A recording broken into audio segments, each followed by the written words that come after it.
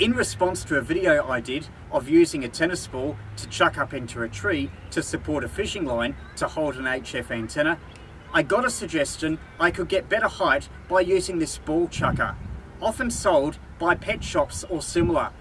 You'd put the tennis ball into it and with its length it would give you more leverage and allow the ball to be thrown further or higher. I found one for $2.50 at my local discount shop. Even came with a tennis ball, though I'm not using that. I'm going to use the one that I modified to put in the extra stiff wire, which I could tie the fishing line to. There is also a longer version for $3.95, which was about twice the length. But I'm going to stick with this version, because anything longer might be a bit too long to put in a portable station's backpack. As before, I'm using a reeler fishing line.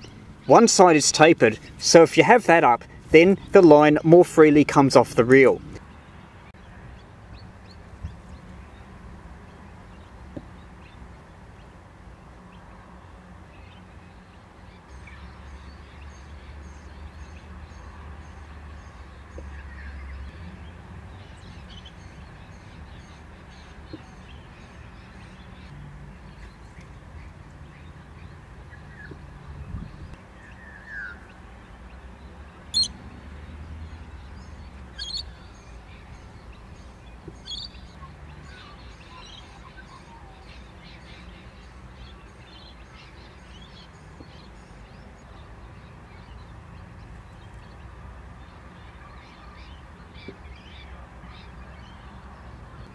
So, what's the results?